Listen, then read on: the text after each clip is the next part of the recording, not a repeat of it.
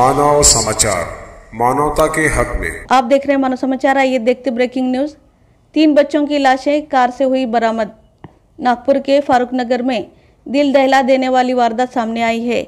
एक कार में तीन छोटे बच्चों की लाशें मिली हैं और इस वजह से सब तरफ़ अफरा तफरी का माहौल है। शनिचर को नागपुर में तीन भाई बहन गायब होने की खबर मिली थी। खेलने के लिए बाहर गए बच्चे रात होने के बाद भी घर नहीं लौटे, इसलिए पुलिस स्टेशन में फिरियाद लिखाई गई। तौसीफ खान, उम्र चार साल, आलिया खान, उम्र छः साल और आफरीन खान, उम्र छः साल। ऐसे उन बच्चों की उम्र बताई जा रही है। मोर अपडेट्स के लिए देखते रहें। मानव समाचार सबसे पहले, सबसे तेज, सच हमेशा सच के साथ।